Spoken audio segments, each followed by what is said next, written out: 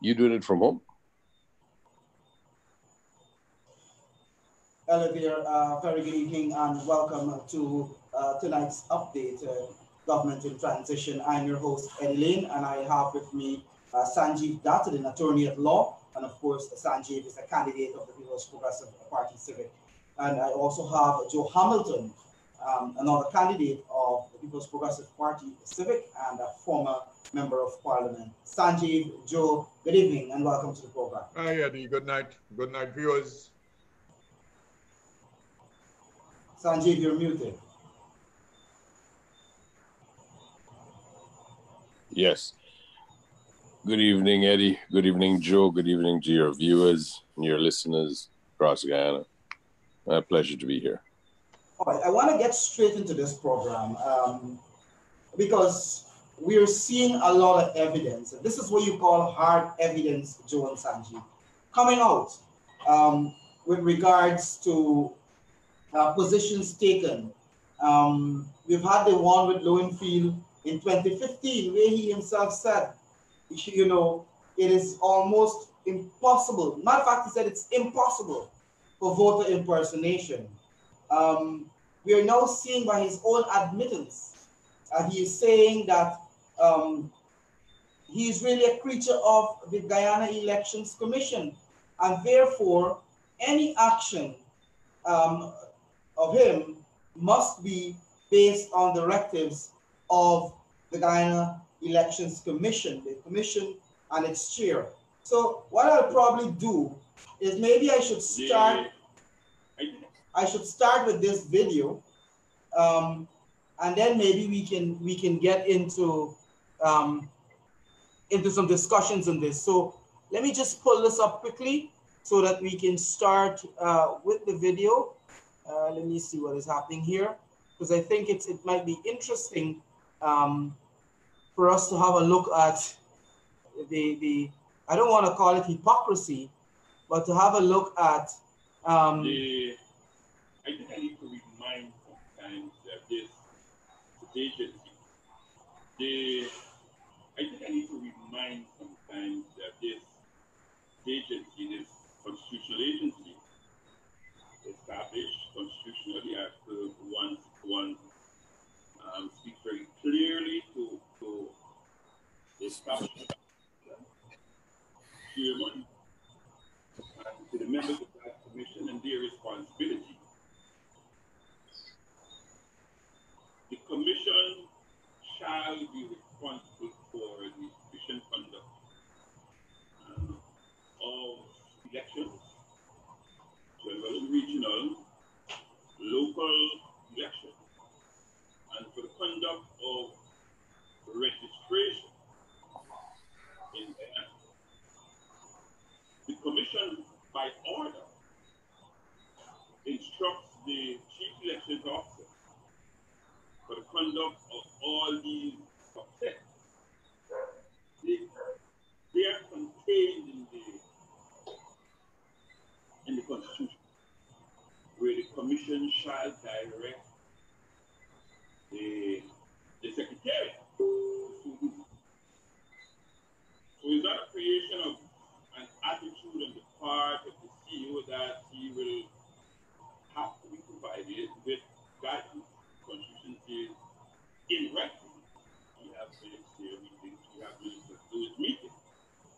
That is the chief elections officer, the directors of the commission, which is um, membership is contained in So they direct, move, don't act, don't act, um, as is contained in the constitution.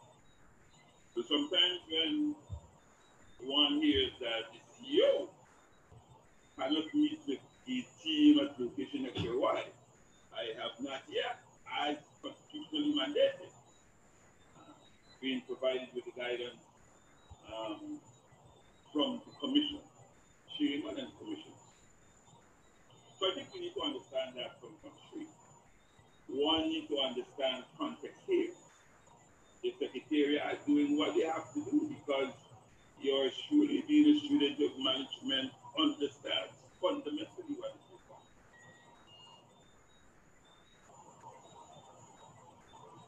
So, gentlemen, those are the words of Keith Lowenfield. He went through the paces. He explained that and, and, and confirmed that he has to, he can only act based on instructions from the commission. I'm going to start with you, Joe, and then I bring Sanjeev in.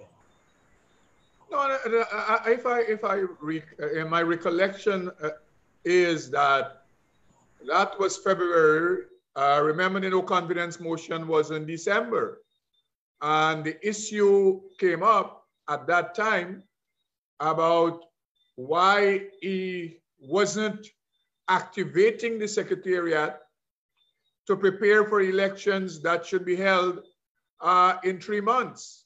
And therefore, his escape hatch was that, listen, I, as CEO, uh, couldn't uh, move forward unless I am instructed by the commission to do same. Uh, Eddy, you would also recall, uh, uh, and viewers, at that time, the chairman of the commission was one James Patterson, who is one of the conspirators going back uh, in time. And therefore, Lowenfield and Patterson was conspiring at a time where Patterson was refusing to instruct him, and Lowenfield, on the other hand, was saying, I am waiting for instructions from Patterson. When the fact is, they didn't want to uh, keep the deadline of uh, the election that should have been held based on the constitution uh, in, three, in, in three months. So that is what, uh, but we are not in doubt, and we were never in doubt, that is the People's Progressive Party Civic, that Lowenfield is a creature of the Guyana Elections Commission. And I can go further to make the point that Lowenfield is just a utensil of the Guyana Elections Commission. Uh, that can be disposed of at any time. You know, people got this view that um, the CEO is some uh, is permanent, like the commissioners. That is not so. The commissioners, uh, of course, something we have to look at when we are dealing with the issue of uh, reformation of the commission. The commission or there are there for life is only their own resignation or death uh, can cause them to stop being a commissioner. That is not so with the chief executive officer and all the other people in the secretariat. You'll recall also, viewers, um, when Claudette Singh uh, took over as chair of GECOM, Lowenfield contract was up.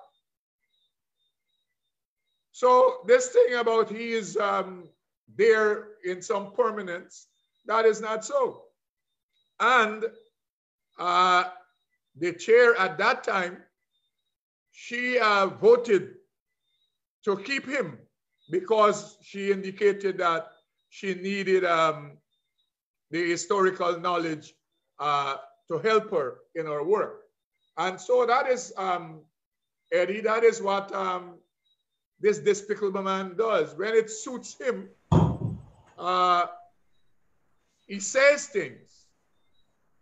And the other, the other um, video uh, that we have, when he was saying that that um, it is impossible to impersonate, remember at that time Granger they won the elections. So he was protecting them from any conversation about irregularity. This time they lost the elections. So he is prepared on his master's behalf to uh, change his tune. But that is what um, liars and thieves and despicable people do. Uh, uh and I don't expect anything um, better from Keith Lowenfield. He has shown who he is and what he is ever since he was there um, under the auspices of, of Patterson. The thing is, I, I, suspect that the latitude he had under Patterson, who was a, a, a co-conspirator in the election shenanigans, he don't have that same latitude uh, with Claudette Singh, um, and that is a difficulty that he has. So he's trying to to to to uh, force himself, so to speak, on the commission by suggesting that his word carried the day, which is total baloney. Uh, Sanjeev, let me bring you in here. Um, and maybe you can you can speak from a more legal perspective as well uh, with regards to Lowenfield's role at the commission and the structure of the commission per se, um, picking up from where maybe Joe left off. Um, Eddy, the position with Lowenfield, which he says on the recordings that you see doing the wrongs on social media now, uh, is accurate. It proves that he knows what it is. Essentially, there are two parts, if you want, is easier to describe it that way.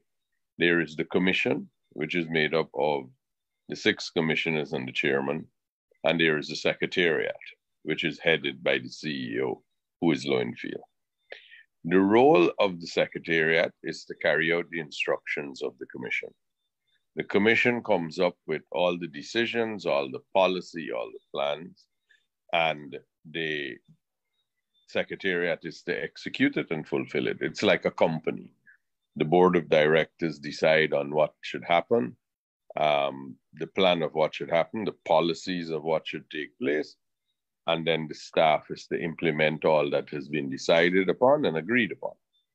So that's what Lowenfield is. Lowenfield has previously said he's a constitutional officer. He's not. He's simply a statutory officer. And in his case, he's on a contract. So he has, as Joe was explaining, he has no security of tenure like the uh, the individuals who are commissioners uh, and the chairman have.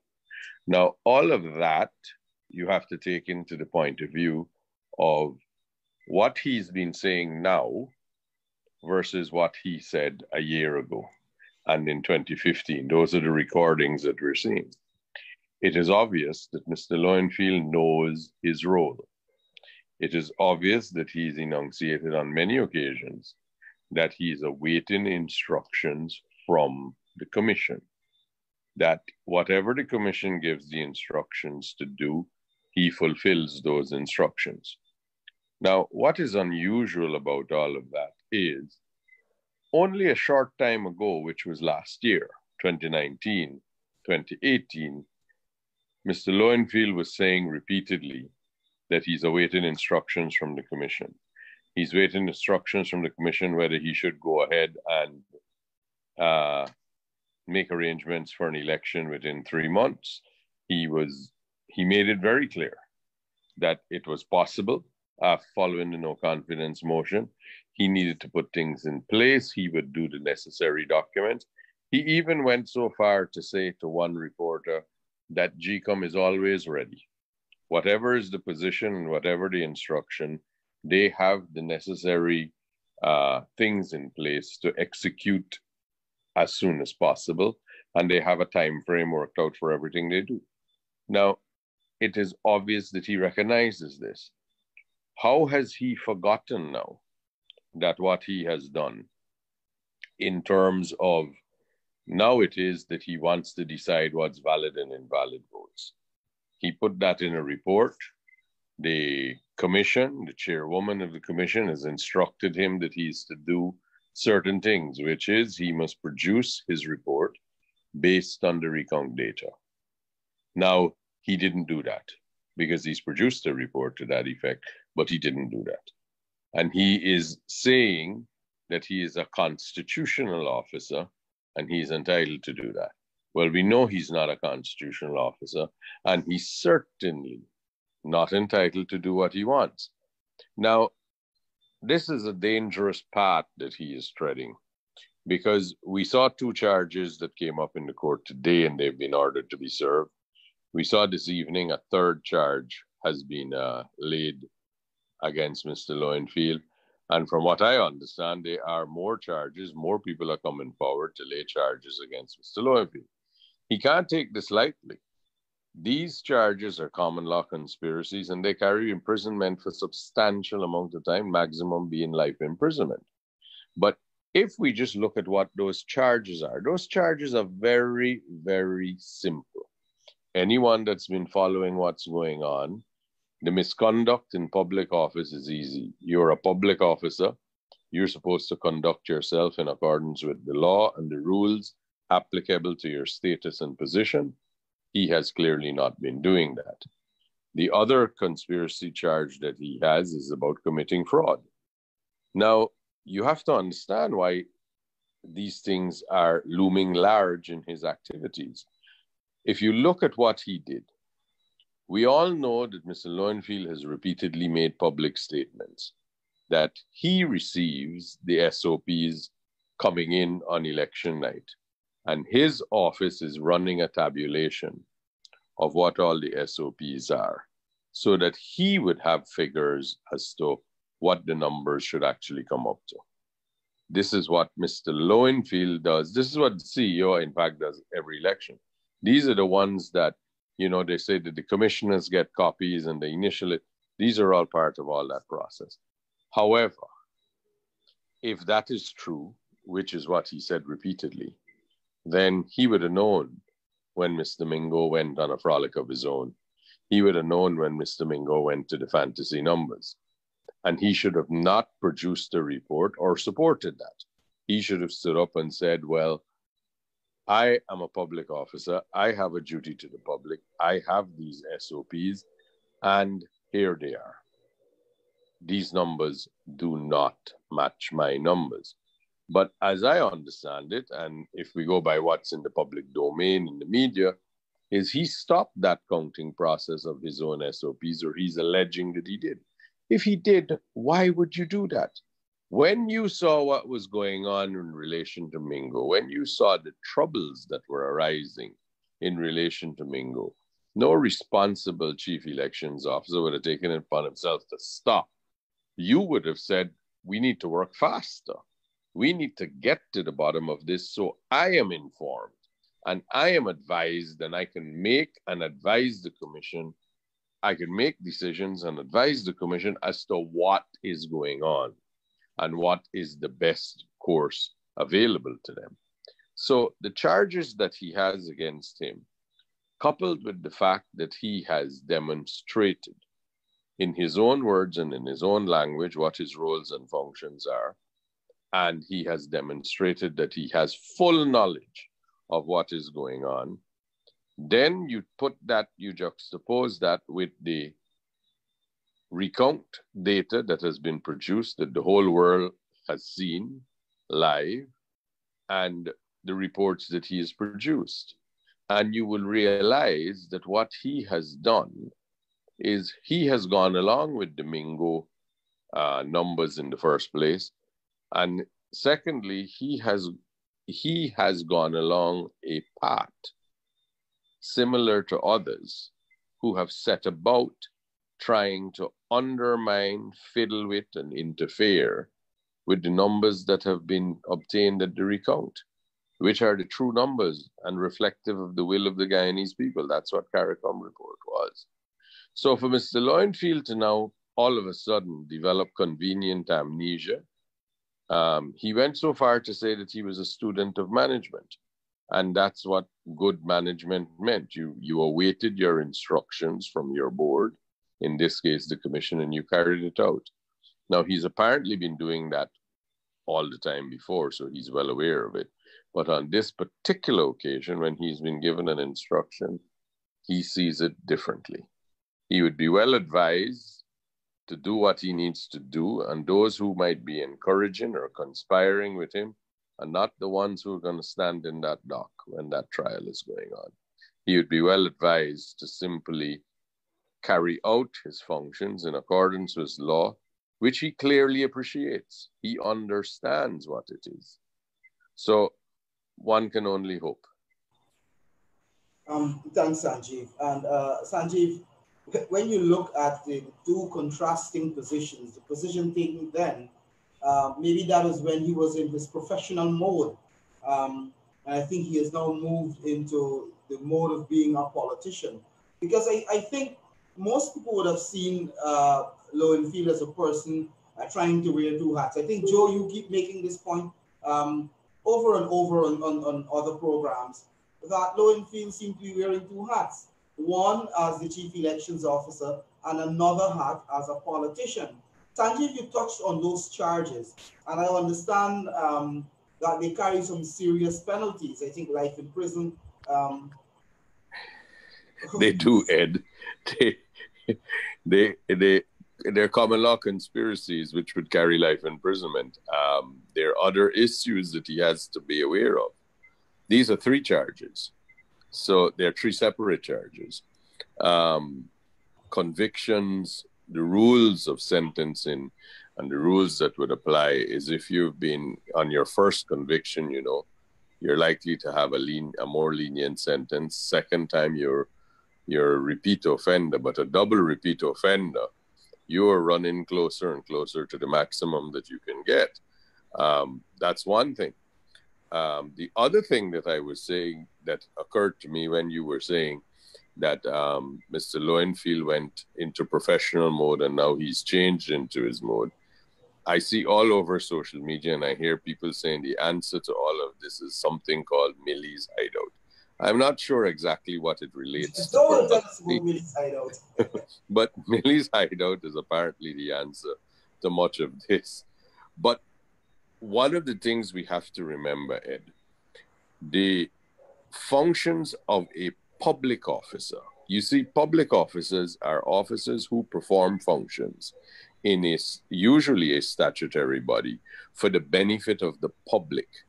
So his task, which is what he's paid for and which is what he's been engaged in doing, is really, yes, he carries out the the tasks as assigned to him by the commission. But his function of what he's doing is really to perform a service and a function for the members of the public. Now, it is performing for the members of the public because he is the person who is tasked with when they do the statements of recount and uh, for the each regions when they tabulate up the 10 regions his task of what he really has to do is the returning officers in those regions tabulate the regions. So it, it's a process, right? That goes with seniority because seniority is, is expected to have better judgment, more experience, and more capable of addressing what has to be done. So it works this way. Um, the presiding officer counts the ballots in the polling station. That presiding officer's ultimate boss is Mr. Lowenfield you know, he's the chief elections officer. But then the, the presiding officer reports of what they have done. So the presiding officer counts the votes, then and put them all there by boxes. Then the returning officer counts the boxes and put them all in regions. And then the chief executive officer, the, who is the ultimate boss again of all the returning officers, he then counts the regions and he gives you what the country is. So he has a specific role to play.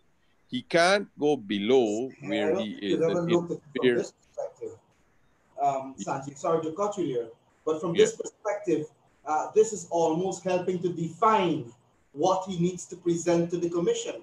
I suspect. Um, yes, because see, he can't go below into the ballot boxes where the, the presiding officers were engaged, and he can't go into the region the regional things where the returning officers were engaged in doing the calculation and counts. His job is really to take the 10 regions. That's all he he can't go and interfere with the other ones because if you look at ROPA, the representation of people like the presiding officer also is a statutory officer and has statutory functions, which he can't impinge on. He is the boss in terms of the secretariat. He is the superior. He is the person they answer to in the chain of command. Then the ret- uh, so it's the presiding officer, the returning officer, then the chief executive officer. But now he can't tell them what to do because the returning officer is similarly in the representation of the People's Act a statutory officer who has statutory functions that them alone can do. So what Lowenfield is doing with this foolish report that he comes up with to take away 115,000 votes. He has interfered with the polling officers' tasks. He's interfered with the returning officers' tasks.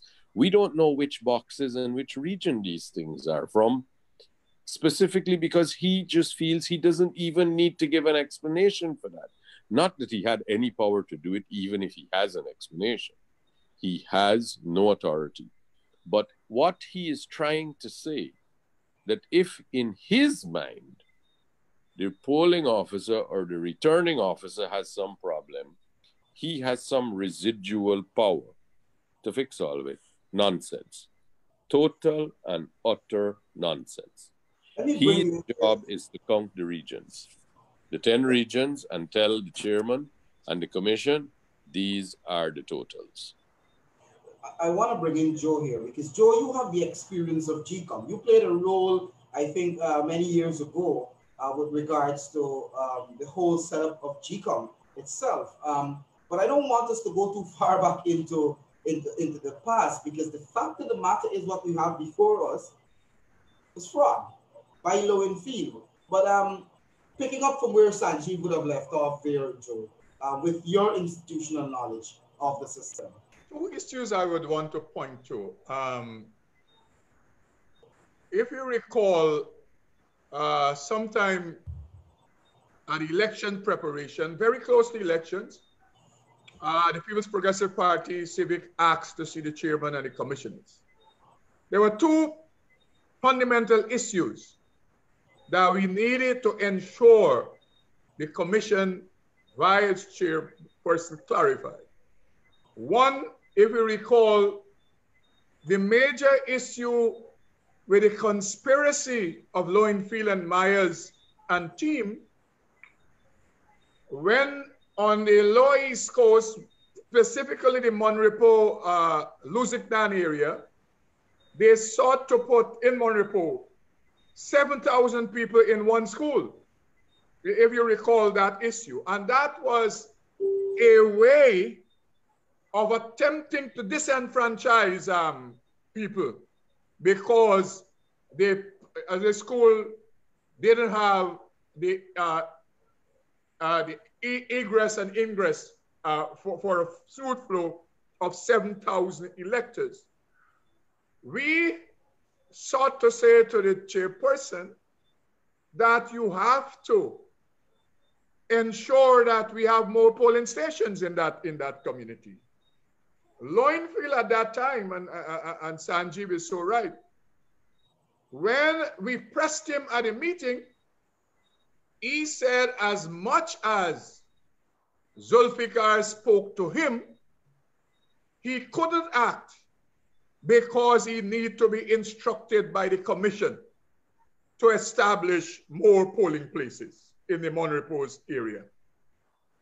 And the other important issue uh, uh, that Sanjeev raised was what had been happening on the Surge Valley is that Lowenfield or the Secretariat over those period in the election usurped the authority of the returning officers.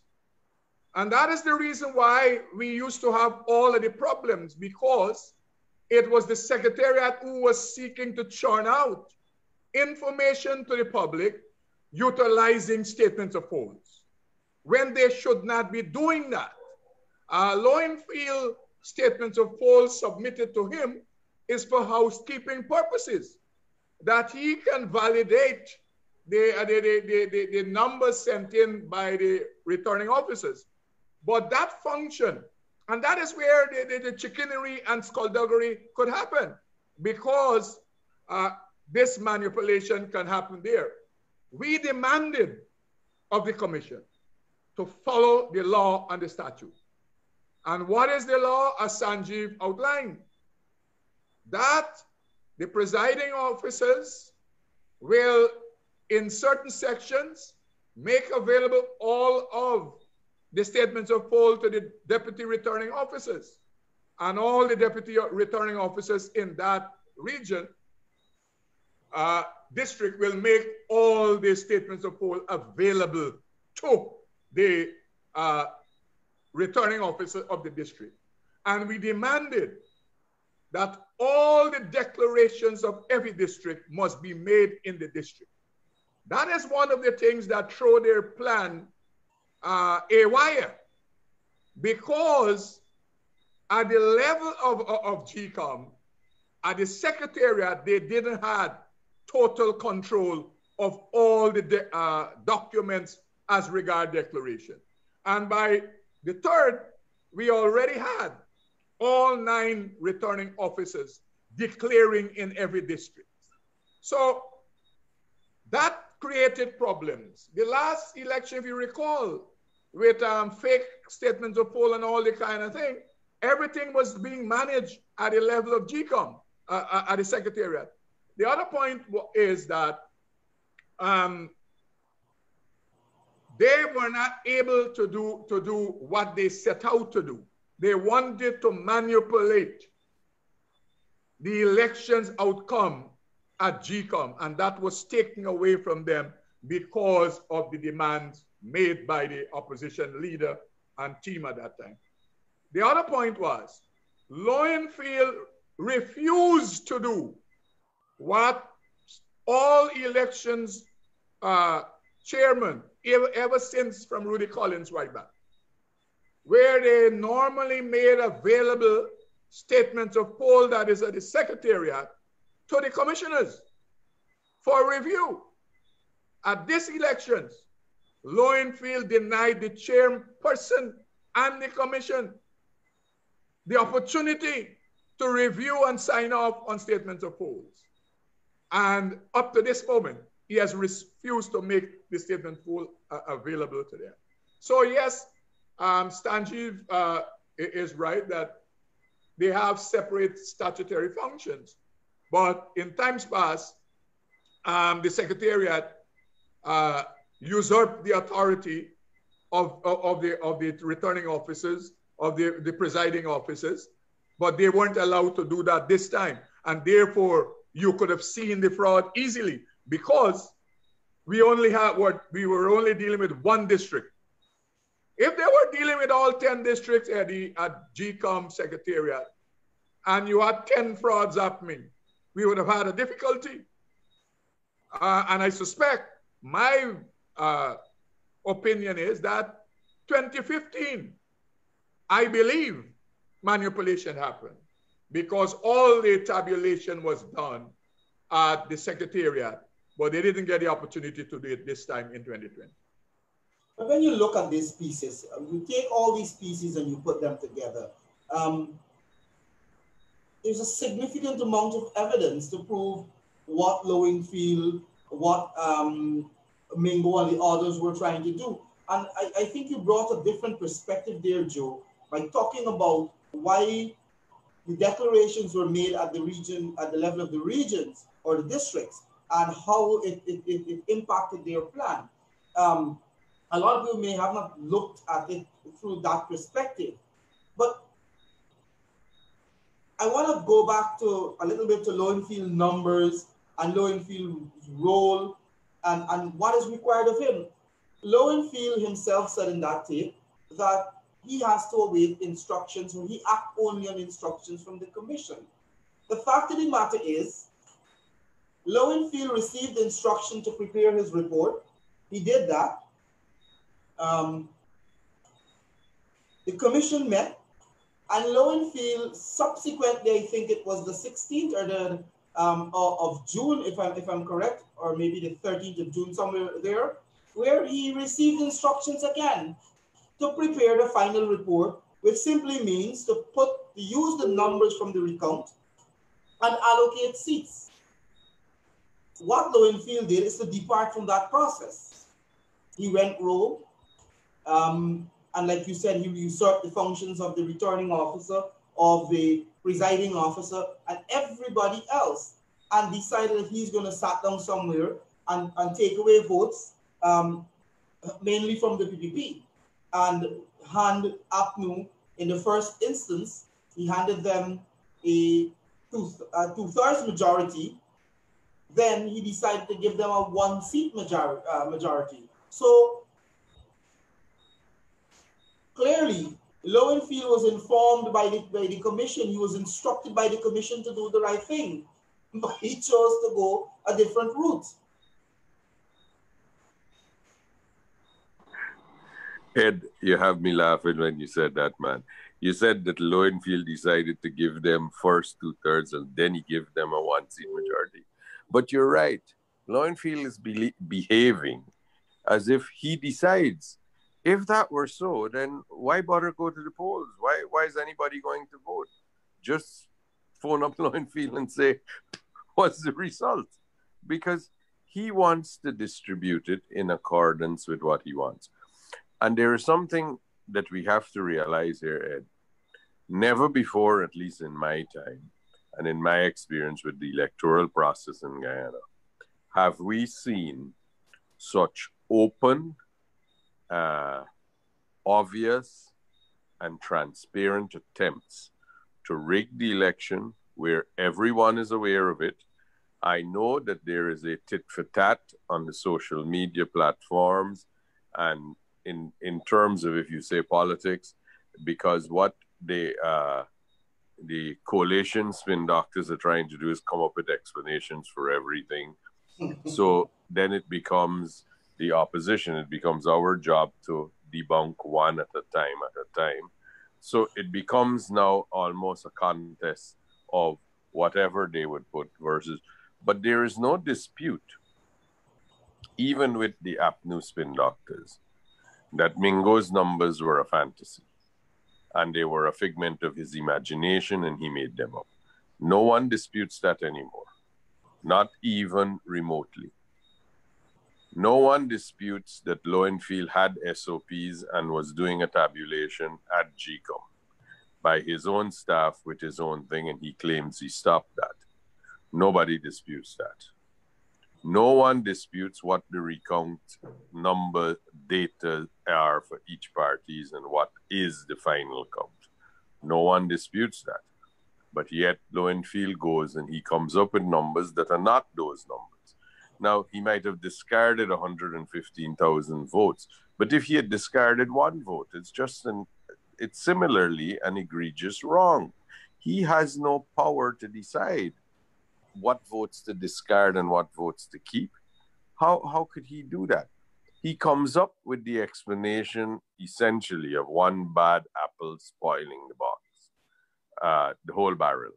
He's saying that if there is one element that he can identify, or there is one element about the box that does not meet his satisfaction, he discards all the ballots in that box. Now, if you say it out loud, it's so preposterous. I mean, how could you embark upon something like that with no power or ability to do any of that? How would he conduct these evaluations that he alleges? You hear the judges in the Court of Appeal saying about quantitative and qualitative. It, it doesn't matter which one it is, whether it's quantitative or qualitative what his task was and what his task, his only task is, is to do a tabulation and to put it together.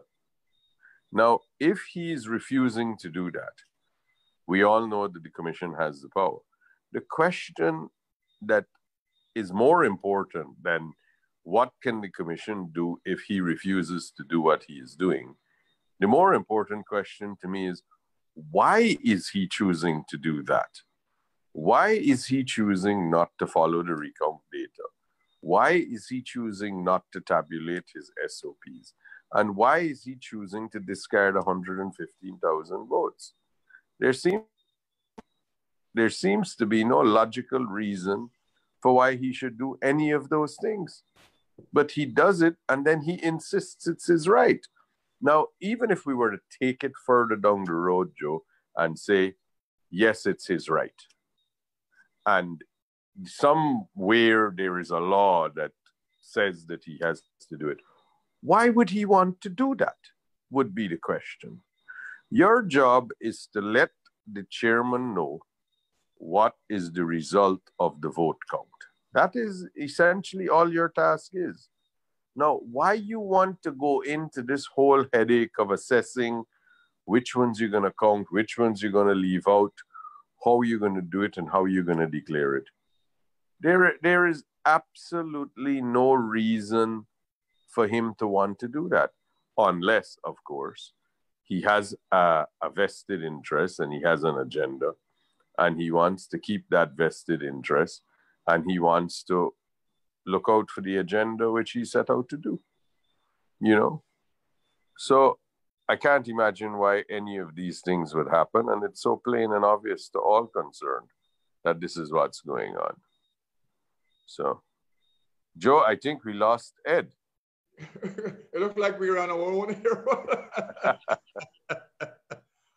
well, well, Sanjeev, you're so right that, that when he presented to the chair the 460,000 votes that were validly cast and recounted, that whole number was derived from 10 separate numbers. In the case of this uh, fiction that he presented to the uh, GECOM, 345,000, it is just a whole number. No one is aware where are and how the 10 numbers reflect to that whole number. It's just, it's just an whole number. He didn't utilize at all 10 numbers to, to, to, to, to create that 345,000. Uh, and the fact that it is the district tabulation that becomes the national tabulation you could have run off on a frolic and just gave us gave us a national um, tabulation. And that is what he did. That he's not authorized to do in the first place. And secondly, uh, there is nothing he can rely on. In the case of the 460,000 votes coming out of the recount, he can rely on the 10 tabulation certificate signed on to by his um, coordinators for the district. In this case, apparently he has created his own numbers even at the level of, of, of the, of, the, of the district uh, to come up with his own number. But he hasn't said that. But the point is, all he presents is an whole number. And we're yet to know um, where he got it from.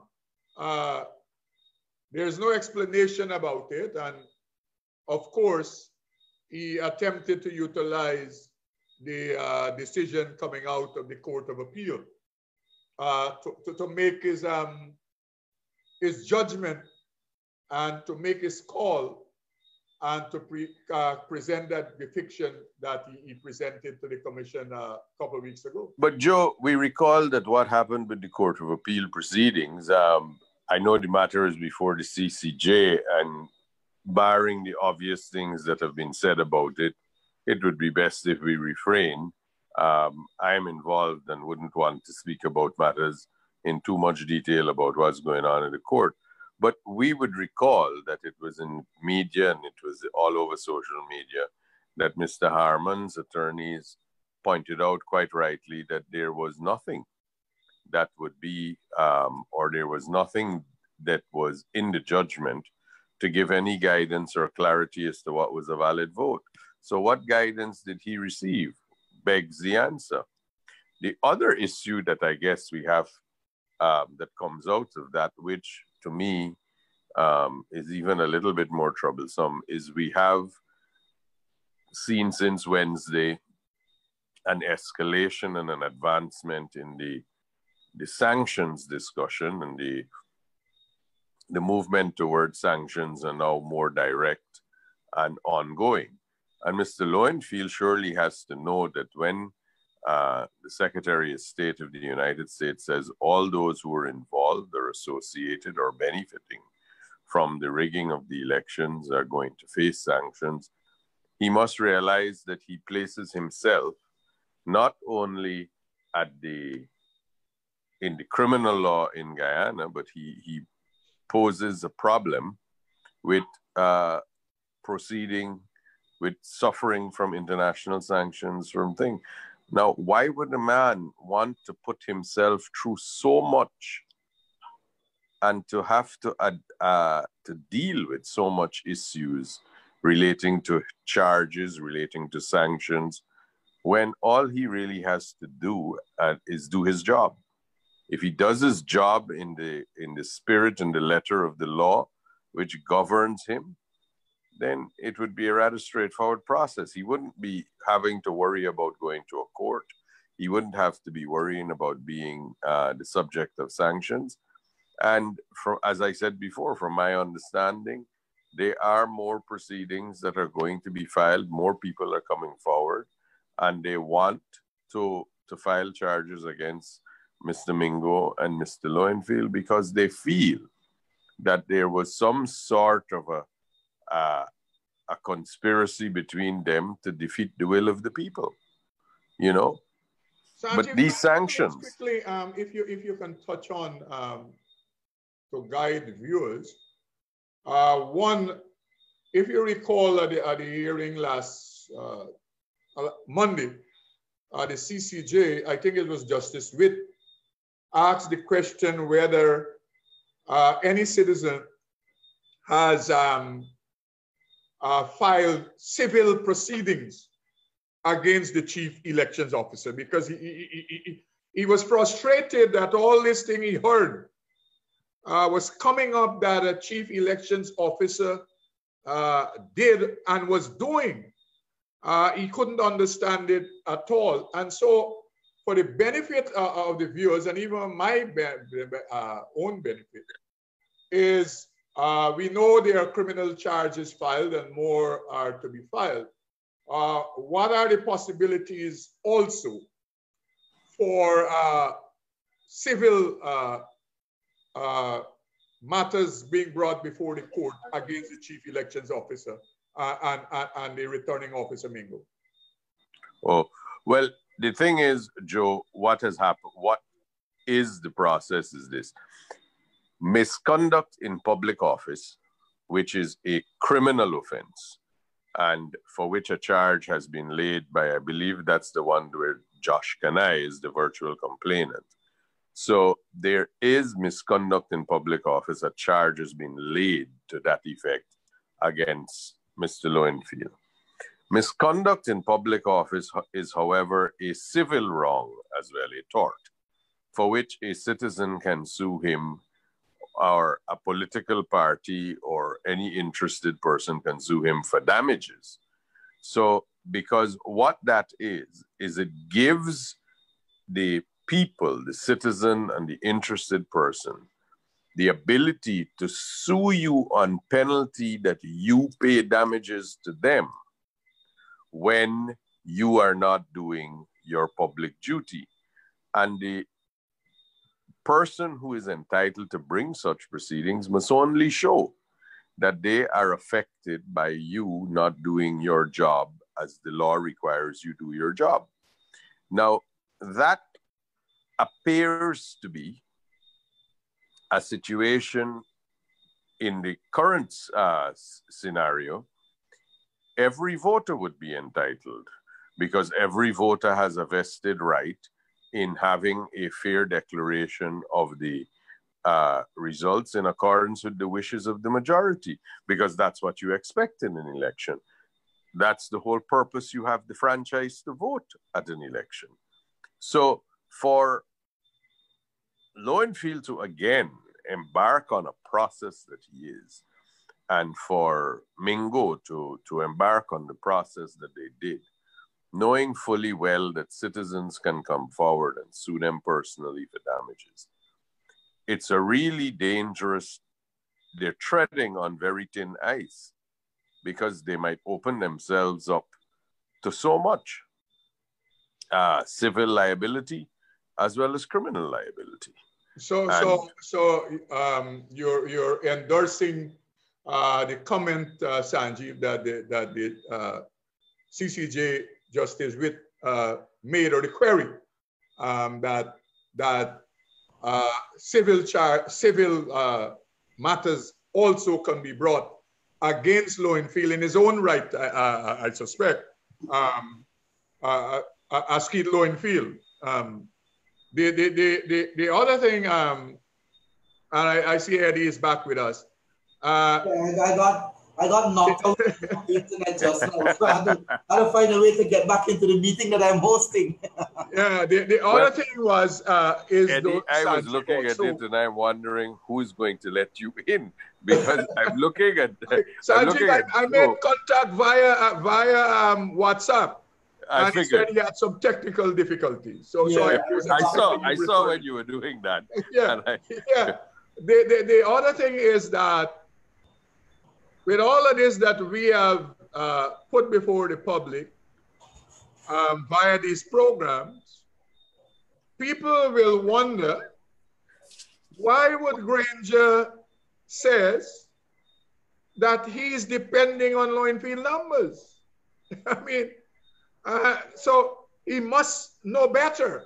And, and, uh, and that is the point today um, Ralph Gonsalves made, that the people who were chastising and castigating the outgoing chair and he himself, uh, they are, are looking at this matter through what he called jaundiced eyes.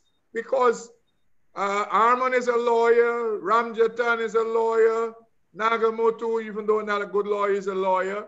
Um, Trotman, Trotman is a lawyer, and, and Granger and, and many of them, um, some of these guys were people who were involved as the most senior level in the disciplined services. So they must know better. So why would they go down the road, uh, in the case of Ramjattan, saying that he's expecting that they might be able to win the elections on a technicality? I mean, you know, the pollster of um, of, of the PNC, who has been their pollster for the, over 25 years, Peter Wickham, said it um, simply. He said in elections is about votes cast, and the person who get the most votes, they win the election. It's as simple as that. There is no technicality you can win it by. Uh, but Ramjattan, as a lawyer, is hoping that perhaps they can win uh, the, the elections on a technicality. I don't, I don't know how. So what it is showing is that how pathetic uh, Granger and his cabal has been because they know that, firstly, Lowenfield answers to the commission and not the other way around.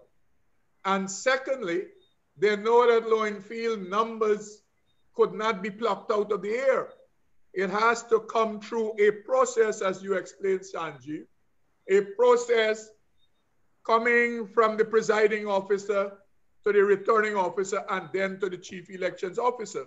In the case of the recount, they they they they they, they um they authorize persons and they style their name differently, but it's the same work they were doing, the same task.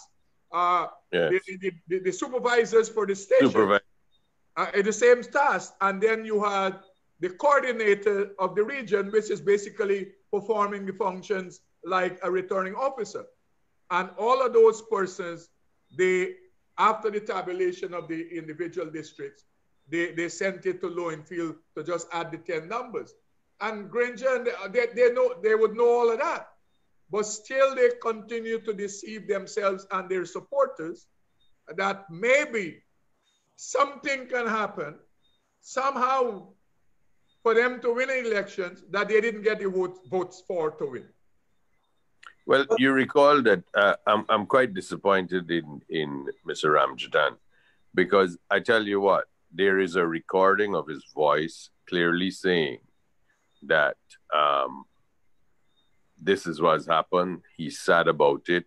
The declaration is likely to come tomorrow or the next day. They've lost by about 15,000 votes. It's sad news. He's, it's, he feels really bad. It's one of his worst days ever that um, serving as a minister was the best thing he did. He went through the whole thing. He denied it immediately afterwards. That day, he, he denied it later, saying he, he never said that. Then, of course, the recording was made public. He appeared this morning on radio or television in uh, Trinidad to say that what it was, uh, that wasn't it. That he was saying that he's leaving there, he's going to the prime minister's office. Now, the thing about the lies and the stupidity of what he says, there must be something that he is afflicted by. And and what it has to be is he must be thinking by some quirk of the world that what he says in Trinidad, nobody in Guyana ever hears about, or what he says on television over there, nobody gets any knowledge of it. So that when you go overseas, you can lie, or when you speak to the overseas media, you can lie. This is ridiculous. It is, and this is common of much of what they do. It is so transparent and childish that within five minutes of them saying it, you can effectively debunk it. The same thing with Mr. Lowenfield. Mr. Lowenfield said that he had his right to do so. He's a constitutional officer.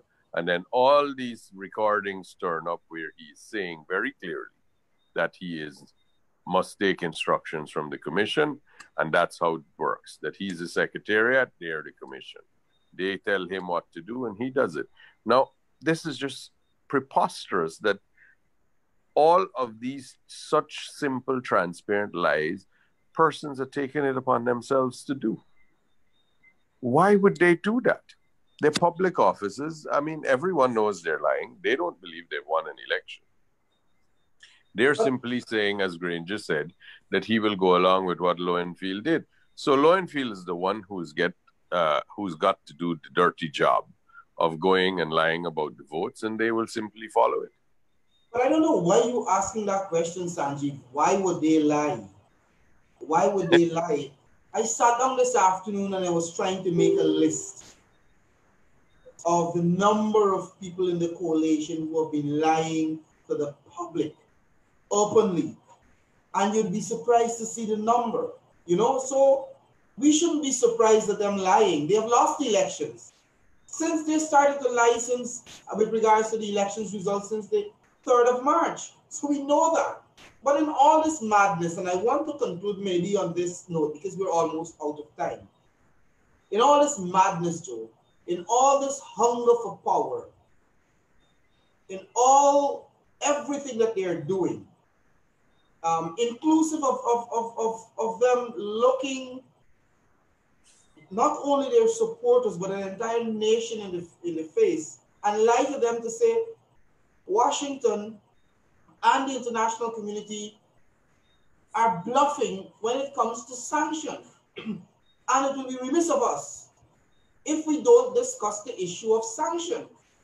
Interestingly, this evening, my, my wife brought my attention to a post by one James Bond, where he outlined sanctions and, and, and, and the actions that could be taken.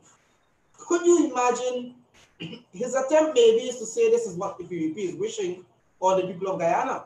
And I want to say from upfront that the PPP don't want Guyana to be sanctioned. But, and, and it could be, it, this could end quickly and, and, and simply if Granger concede he lost the elections.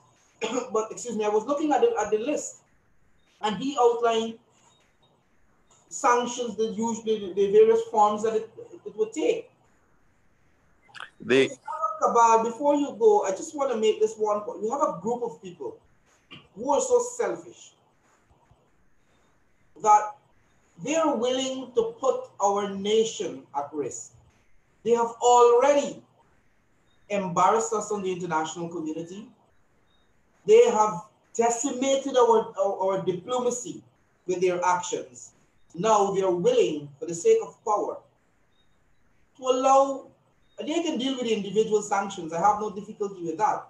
But I know sanctions usually progress. And from individual, it would move to, to, to banks, it would move to businesses, etc. And that will hurt our country.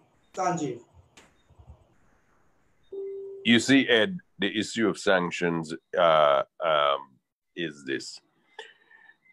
The belief is that sanctions are, you know, we don't need to worry, and they're behaving as if they don't need to worry, but they don't realize personal individual sanctions are paralyzing because what it does is it freezes your ability to do any form of business or financial or business transaction with the outside world. But then the institutions in here, if they do business with you, they are also not going to be permitted to do business with the outside world. So, for example, the banks in Guyana who have correspondent banks in the United States are not going to be allowed to do anything, or they're not going to want to do any business with you because they sanctions mean that they can't do that. So the over not wanting to violate the the standard of whatever regulation or uh, law, the mandatory effect of it by the U.S. government, they can't do anything. But it doesn't only affect you; it affects your family, your wife, your children, but it also affects your brothers, your sisters, your nieces, your nephews, your father, your mother. It affects everybody, and the reason why they do that is because they if you ever gave your cousin a thousand dollars or five hundred dollars they're going to be under the watch because they want to know where the money come from. How did this happen? Then comes the sanction where they will simply restrict travel you and members of your immediate family at least are going to not be allowed to travel but that has a knock-on effect to affect the population because everybody doing a bank transfer thereafter would have to provide a little bit more data and details because Guyana is a small country and they recognize this. Everybody kind of knows everybody. So they want to make sure that uh, one of the persons who are affected by the sanctions and prevented from doing anything is not going to his neighbor or his cousin or his school friend and giving them to transfer the money. So everybody who does that, they're going to be brought under that pressure that means exporting things are going to be more difficult and slower, um, which means foreign currency is going to become a problem. So it's a snowballing effect of what would happen. But the sanctions that would be meted out to the individuals are effectively going to put them in a position where they are going to be in isolation. If businessmen go along with that, those businessmen and their families will never be allowed to travel to these overseas destinations anymore. They're not going to be allowed to own properties in Miami and New York. They're not going to be allowed to own businesses, go shopping. None of those things are going to be allowed. Their credit cards are going to be frozen. This is not going to be, they don't impose sanctions on you lightly. That's why it takes a little while. And they don't do it just to say that we have imposed sanctions. They do it, sanctions are imposed to punish you for what you have done and to try to make you do the right thing. But it is intended, the fundamental purpose of, a san- of sanctions are to punish you. Now, this means that Mr. that President Granger and his family are going to all be subject to sanctions, which would mean his children, uh, his his in-laws, his his daughter and son-in-laws, the I mean, what, whatever it is, nieces, nephews, all of that, uh, grandchildren, all of these people are going to be put at risk.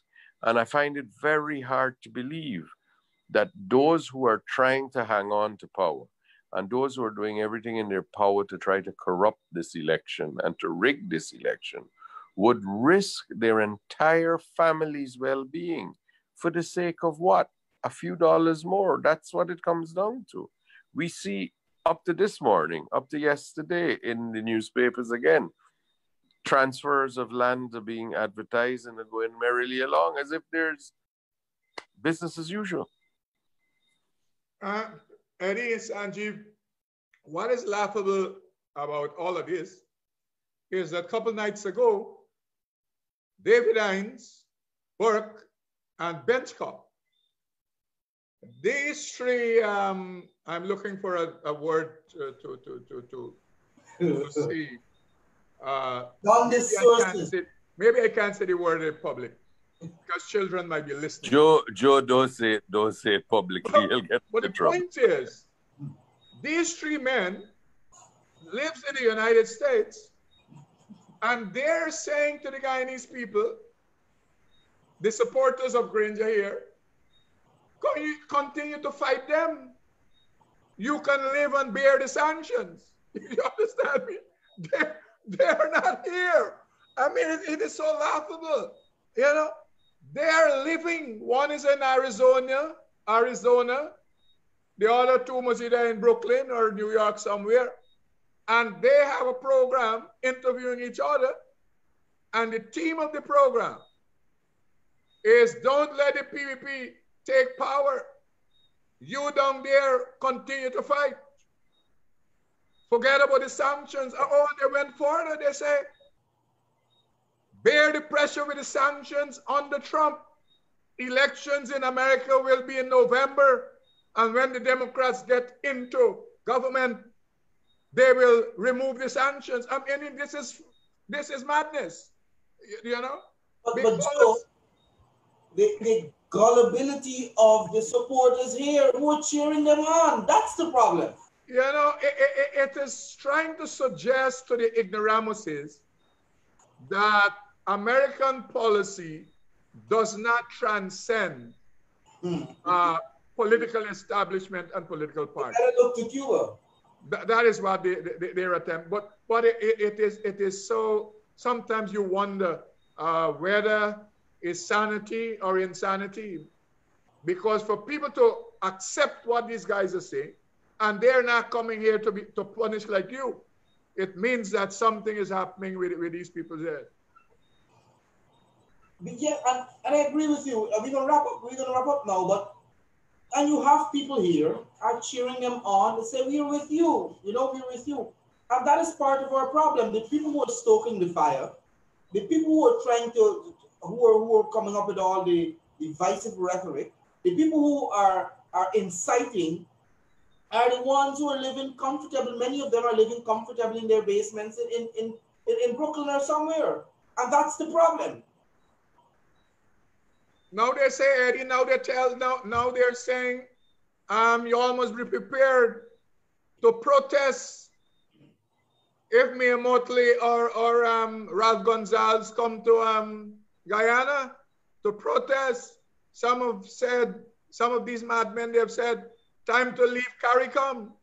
I mean, I mean, you, you know, people sometimes they wonder what has happened to the supporters of Granger. Uh, it looked like everybody um, needs to go by the Canje Bridge because as the day goes by, they're becoming madder and madder they're saying things that are don't make sense uh, every day.